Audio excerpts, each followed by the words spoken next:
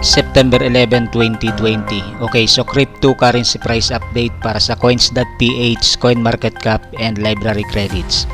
Okay, sa coins.ph, Bitcoin price in Philippine peso, buy price is 517,785 PHP and sell price is 497,383 PHP. Okay, so yan ang Bitcoin price in Philippine peso sa coins. Okay, so para naman sa coin market cap so top 10 cryptocurrencies, top 1 Bitcoin price 10,272.46 USD up 0.01%.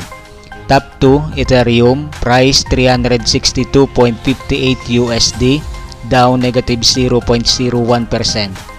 Top 3 Tether price 1 USD down negative 0.09%.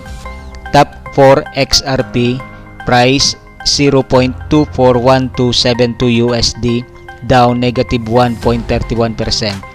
Top 5 Chainlink price 12.37 USD down negative 1.07%. Top 6 Bitcoin Cash Price 223.98 USD, down negative 0.27%. Top 7 Polkadot, price 4.37 USD, down negative 3.78%.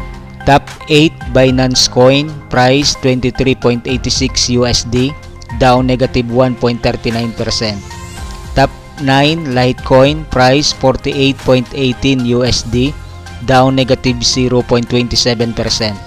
Top 10 Bitcoin SB price 164.98 USD down negative 2.40%. Library credits price LBC USDT pair current price is 0.02648 USDT.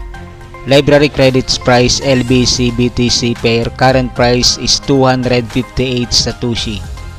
Okay, so yan ang cryptocurrency price update ngayon September 11, 2020 para sa coins.ph, CoinMarketCap, and library credits.